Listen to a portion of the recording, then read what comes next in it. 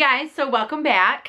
And um, I've decided to keep going. Um, actually, there's no way that I couldn't keep going because you guys are out of control.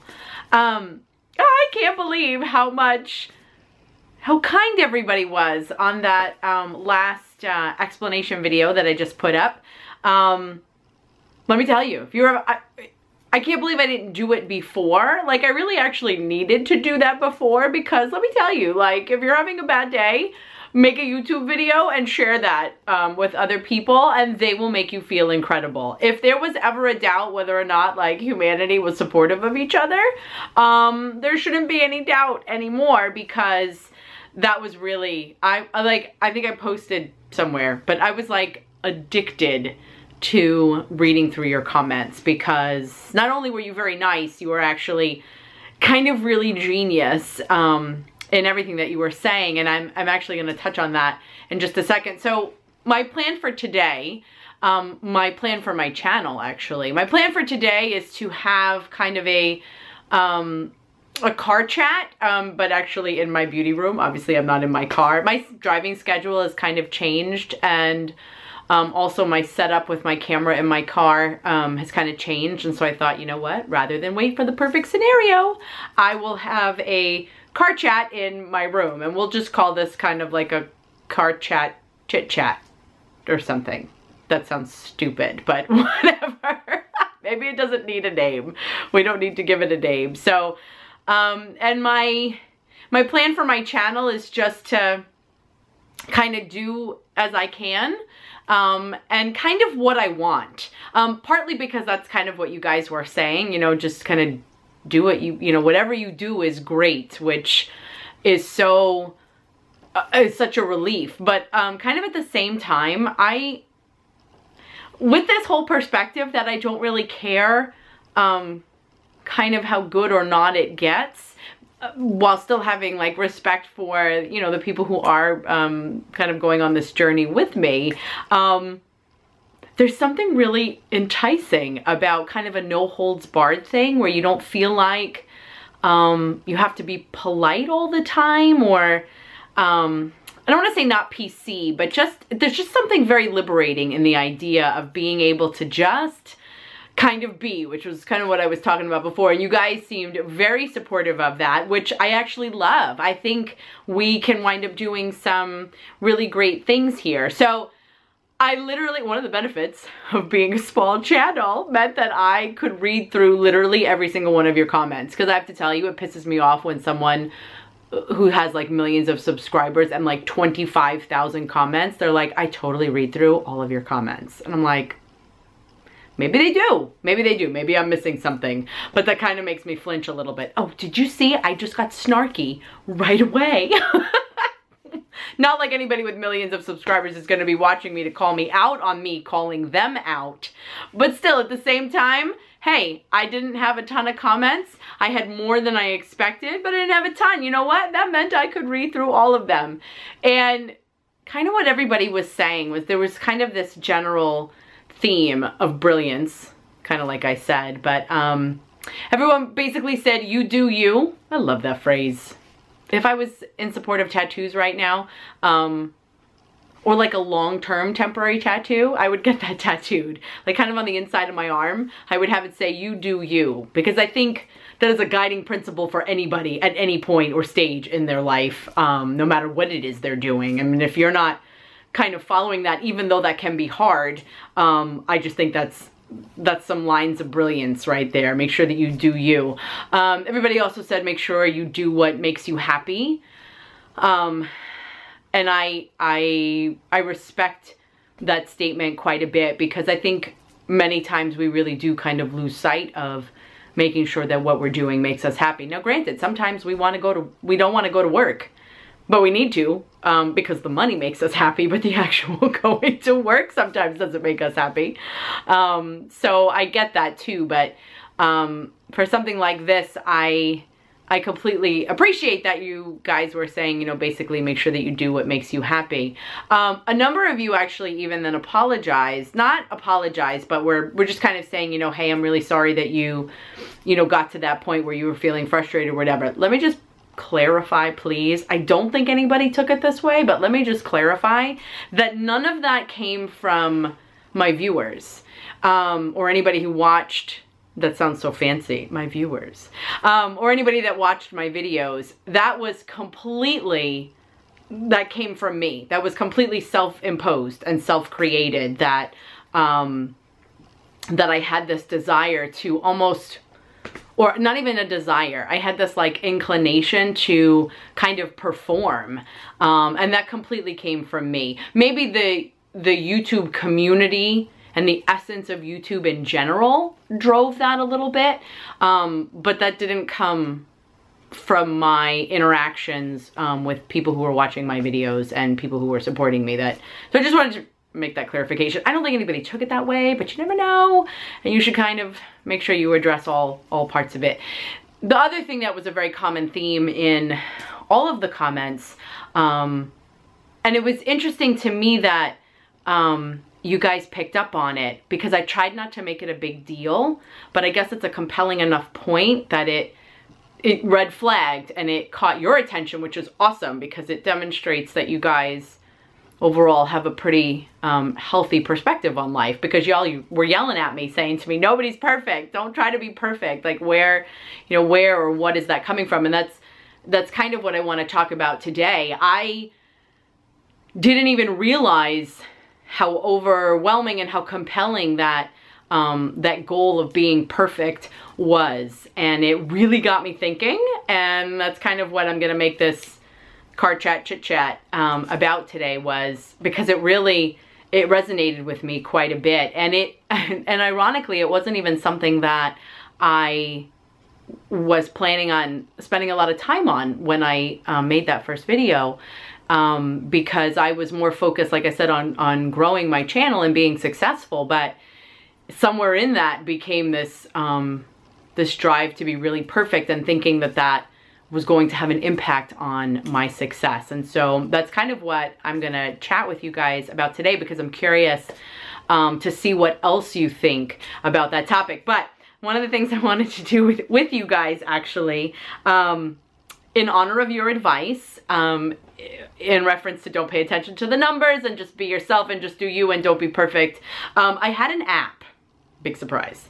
I had an app that was linked to my subscriber count. So, you know, you can go into your YouTube channel and, and after a couple of clicks, you can kind of get your analytics and stuff. Well, there was an app that I found, of course, where you could easily, with opening the app, find out how many subscribers you had. And what's ironic is it's this like red screen like to symbolize YouTube. My husband would know whenever I was in the app because it would make my face like glow red and he'd be like, get out of the subscriber count. Like he was like, you have a problem with that. And so um, I can't, I have to admit it though, I'm gonna put it out there that I totally was watching my subscriber count after I posted that last video. I'm like, okay, Gina, you seriously have a problem. Which PS, it went down after I video up. I'm not even lying. I'm not even lying. And you know what? I don't care because I really, I feel like that video that I just put up um, was like the best thing I ever did. It really was. I think you guys enjoyed it too, but it, for me, it was like the most cathartic like expressive, like get real thing. It was almost like a confession, honestly. And it felt so good. I mean, I wish I kept the camera rolling once I actually, you know, stopped the speaking portion of the video because I was so calm. And I wasn't feeling that when I would cut my recording before. And so, um, anyway, so true confession, yes, I went back to my old habits almost right away. And I'm like, they would be so upset with me. So what I'm doing today is here, I am going to delete the app. I can't do it while showing you, but just take my word for it that I'm clicking on the app right now and I'm going to delete it off my phone. It's actually called Subcount. Delete subcount. Deleting this app will also delete its data. Yeah, you know what? Good riddance because I am growing and I don't need to be, get off, it's not deleting. I just deleted it. It's not deleting. Maybe it'll disappear. Oh my gosh. It's still on the screen. Okay, we'll deal with that later. Okay, but I tried to delete it. I'm not going to, re. oh, wait. No, that's weird. Okay, I'll deal with that at another time. But for some reason, that's like a cruel joke. I don't know why, but I'm deleting it. And if it didn't delete just now, um, then I will definitely take care of it later. Okay, so enough reflection, enough, you know, whatever. Anyway, but one more time, thank you so much for all of the comments and uh, all of the really brilliant stuff that you said because um, I'm like excited now because I really feel like we can definitely take our conversations in such a really cool place because like I said that was kind of a deep conversation and we were ah it was fabulous. So what I wanted to talk to you about today was this whole idea of perfection. And I'm a, I mean like I'm a smart person I, am like a very smart per to the point of perfection I am a very smart person but um I mean, I know better. I didn't actually need, I mean, I needed it, but it shouldn't have been necessary that people needed to point out to me, nobody's perfect. Don't try to be perfect. And I would have said to you at any time during those two years, I, I know I'm not perfect. I'm not trying to be perfect. And yet I was behaving that way. And I'm like, why do, and, I'm, and I can't be the only one. Or maybe even, maybe not all the time, but I'm sure many of us will have those glimpses of where everything just, you know, has to be just right or or we just kind of you know, when you when you have that that overwhelming like I have to get my life in order. What the heck does that mean? I don't even know if that's ever even possible to get our life in order.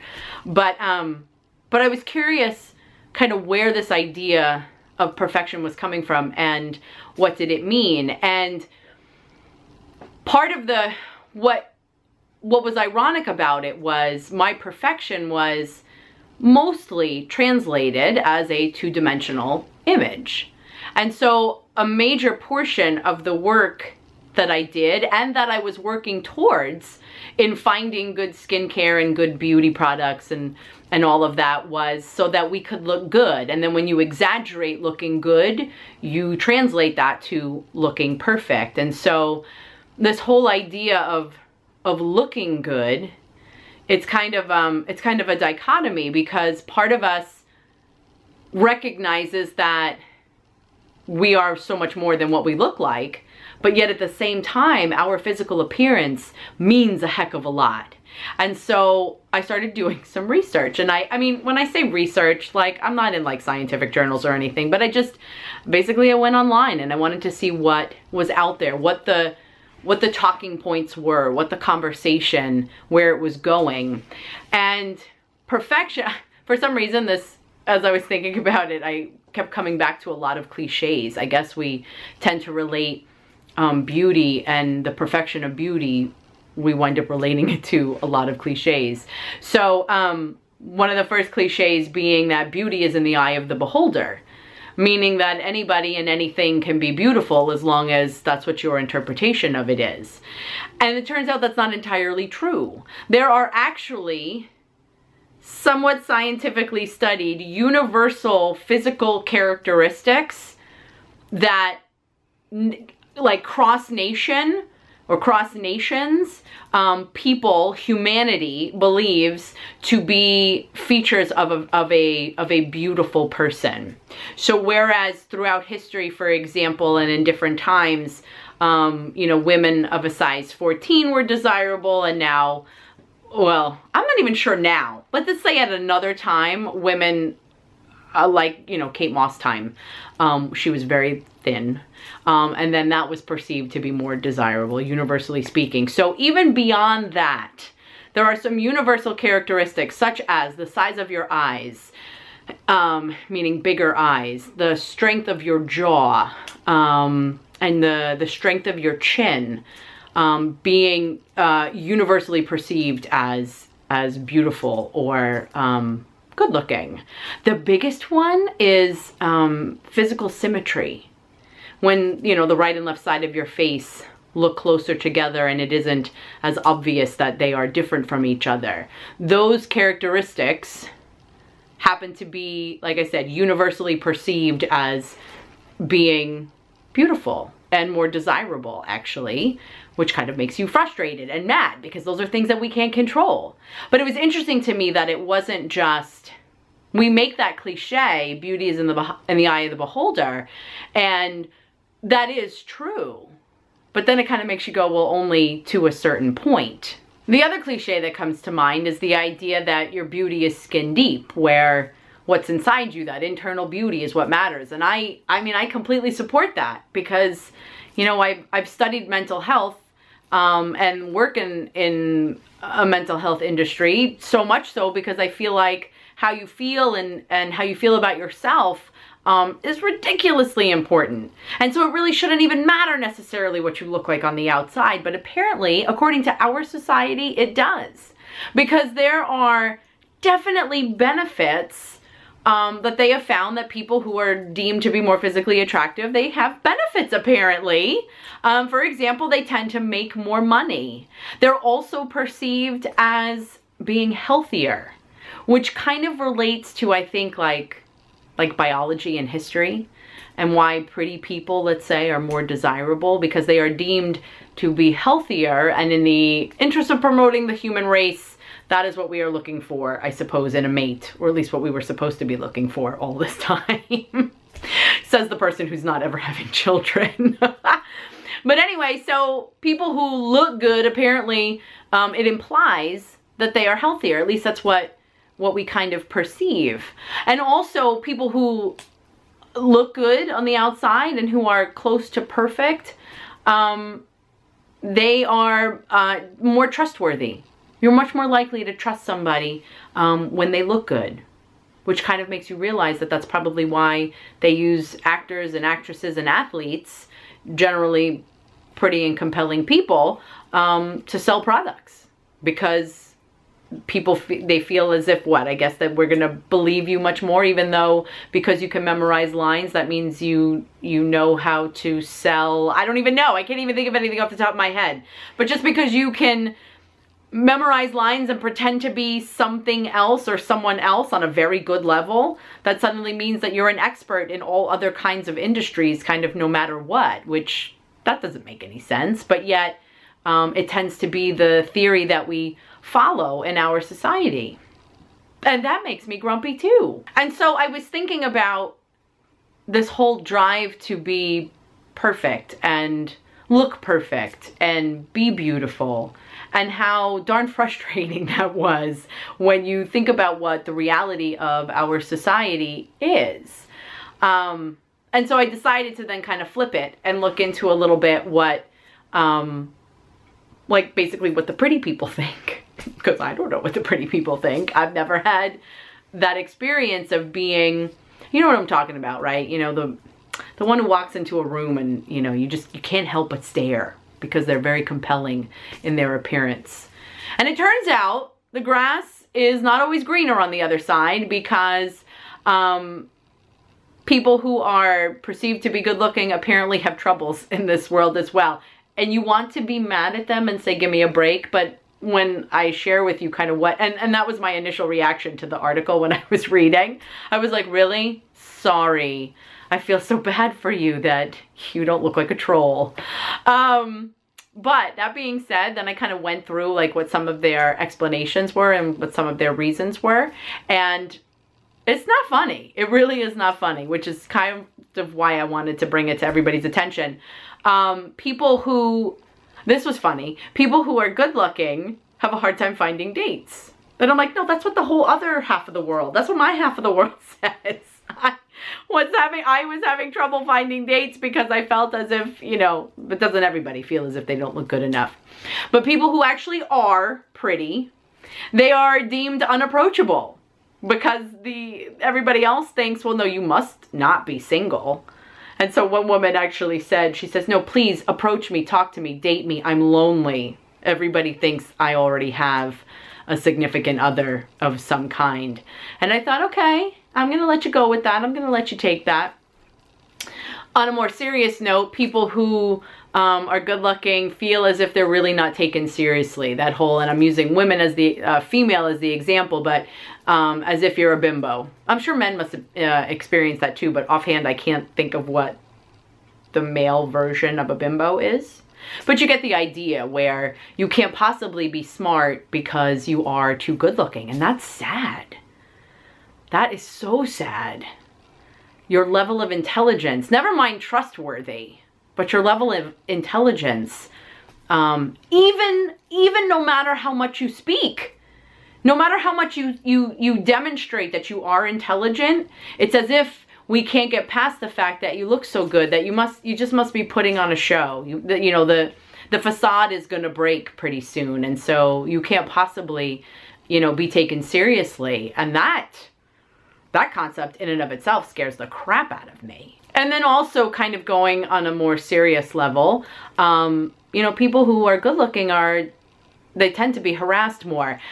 That was kind of what the research was saying. I kind of feel like people who aren't as good looking are bullied more. So they're, they're beat up for not looking good. And then those that look good, um, you know, are harassed in that, you know, they're constantly approached or they're heckled on the street or, you know, I mean, you can you obviously know what I'm talking about there. Um, but it, it, what the sense that I was getting was that it is not always an enjoyable, pretty picture um, just because you look good. Um, and then the last one that I had heard about actually that also made me sad.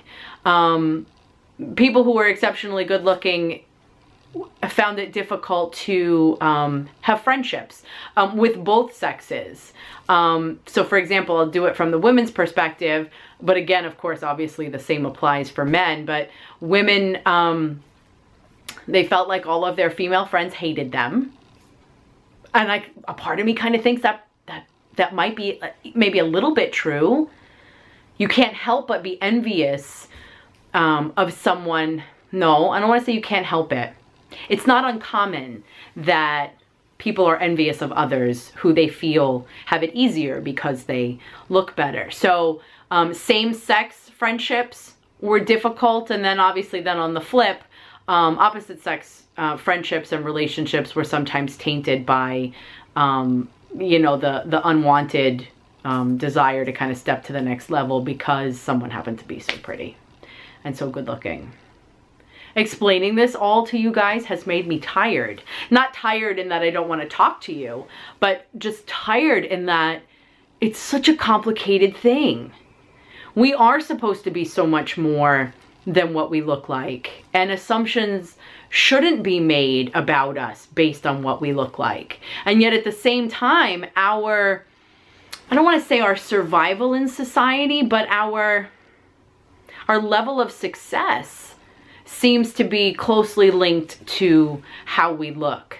And then at the same time, never mind everybody else, then this is kind of the theory that I've always kind of prescribed to. You know, how you look definitely has something to do with your level of confidence. And so looking good does matter.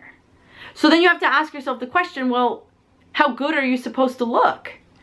You're supposed to look good enough to make a good salary, but not get harassed at work, but still be able to be taken seriously at work. I mean, just to use work as an example. So you're supposed to look good, but not too good. Because if you look too good, then there are complications with that. And then apparently too, if you don't look good enough. I mean, how do you know where to stop? So no wonder why. And then, I mean, on top of it, then just add like society's influence with all of the you know advertisements and and um, and the modeling industry and movies um, you know where that's what we look at is pretty people. And the ones who aren't part of the mold you know who aren't the size whatever with the beautiful skin or whatever well then they wind up sticking out but for all the wrong reasons. Oh yeah, you know, you know, that actress so-and-so, you know, you remember her or him, but you remember them because they don't look like everybody else. And now that's as if they kind of stick out like a sore thumb. I don't know what the answer is. And doing all of this and talking about all of it, I, at first I, I wanted to kind of kick myself and be like, how did you go down that path? How did you put so much pressure you know, on yourself to kind of look a certain way and fit a certain mold. Now I'm kind of reflecting and I'm like, well, no wonder why. But I don't really know what the answer is. And I don't, I don't, I don't know where, I don't even know where we're supposed to go with it. I guess ultimately we should just be making sure that we are comfortable within ourselves. I think the problems begin when we open the door to the comparisons. Am I as pretty as you? Versus, do I feel pretty today? And that could mean inside and out, you know, however you choose to interpret that. So I think when we're comparing ourselves to society and to our friends and to other people that we see on the street, may, eh, and let me just say, to other YouTube channels, I think, I think that might be where we open the door and it becomes a slippery slope. But that's just what, that's another cliche. That's exactly what a slippery slope is. It's something you get involved in and before you know it, you're buried. And I, I kind of feel like that might have been what happened to me. And I do know better. But I'm also, like you guys said, I'm only human.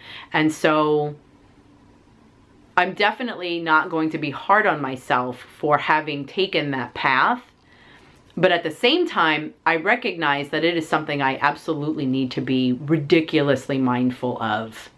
Um, I almost kind of feel like we're addicted to beauty. Not that I think that we, we shouldn't enjoy makeup and such. I enjoy putting makeup on because of the way it makes me feel. And I also recognize a lot of the time I am generally, based on like, let's say who I work with or who I hang out with, most of the time I'm the one wearing the most makeup. And I don't mean necessarily foundation, but the most eyeshadow colors and then, and you know, the whole routine. And I'm okay, and that really is not something I give a lot of thought to. It was just something I chose to acknowledge right now. And um, I do that because I want to. So even though I feel like beauty and perfection um, is kind of a conflicted perspective and very complicated, I will never stop with makeup because of the way that it makes me feel. But like I said, I guess the danger might come when I start comparing myself to someone else and saying, well, hey, I just spent, you know, 30 minutes on my makeup and I don't look as good as you. And that's a problem. So I thought I'd get us started nice and light with a nice and easy topic, I guess. Ah, but what do you guys think about any of it? Do you find yourself like going down that path sometimes, whether it's of comparison with of comparing yourself to others, or do you rely on your your self-worth based on, you know, who you are and, you know, what you personally look like? Do you find yourself, you know, conforming to the consensus that, you know, prettier people have those benefits? Of, you know, being more trustworthy and being perceived healthier? Does a part of you not feel bad? I can't believe I'm going to say this. Does a part of you not feel bad for the pretty people, even though they have their own struggles too? Hmm. That's that whole, what would you, what would you ask for if you were given three wishes? I'm not sure I would ask to be, uh, you know, the most beautiful person in the world. Sounds like that's a complicated, hard job to have. So anyway, thank you for indulging me in this conversation. I would love to know what you think. Um, and I'm just going to cut this off. I hope you have a really good rest of the day. Again, thank you so much for um, everything we've been through so far, which is a whole two videos now. Um, but I do definitely appreciate the feedback, the support, um, and the encouragement. So let's see where this takes us. Tell me also below, what would you like to see next? I'm kind of itching to do, I know it's March, but I'm kind of itching to do a, a 2017 favorites. I don't care that it's March.